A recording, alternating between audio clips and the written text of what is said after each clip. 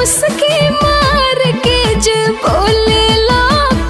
जाऊ करे जा मैं